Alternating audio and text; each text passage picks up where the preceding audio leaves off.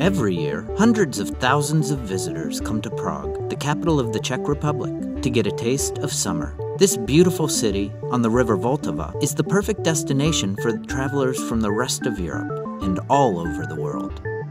Our summer school is designed to give a taste of what we do. We offer a menu rich with learning experiences, allowing students to develop their skills or to learn new ones in areas such as photography, filmmaking, sound, illustration, painting, business, programming, web design, and so on.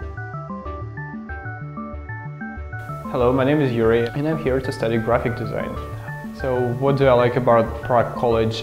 We have the international environment and that's kind of cool. Share your knowledge and uh, receive others' knowledge. My name is Nela Kellerova. I am from here, from Prague. Now we are going to the store and uh, I would like to ask a shop assistant. So let's see how it will go. My name is Ruslan Pirnazar. I'm studying here for second year. I like it.